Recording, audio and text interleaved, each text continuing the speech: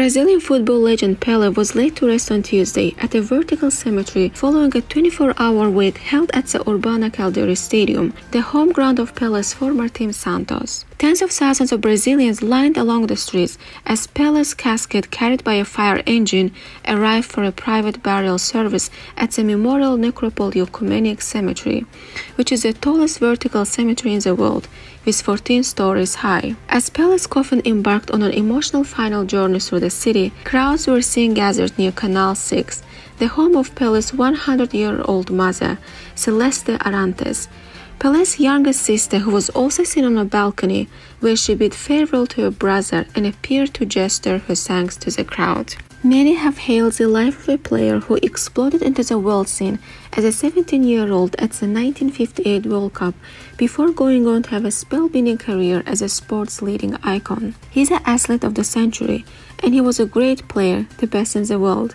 I'm 86 year old and have followed his games ever since the 1958 World Cup held in Sweden, said Amelia Ferreira, who joined with other fans to cheer and sing Pele's name. The football legend was buried at the ground floor of the cemetery, which will make it easier for fans to pay tribute to him, according to Pele's family. The soccer superstar chose his final resting place by himself and was said to have remarked that he liked the spot as it didn't look like a typical cemetery and gave him a sense of spiritual peace and tranquility.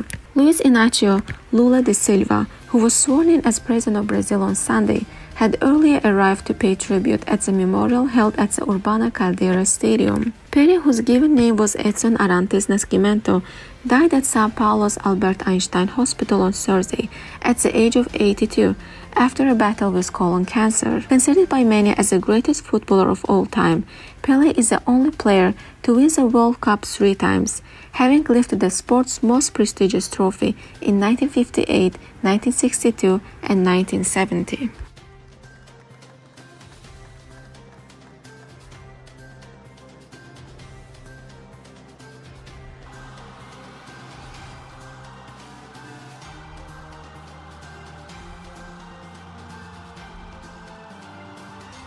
Atleta do século e foi um, um grande jogador, melhor, melhor do mundo.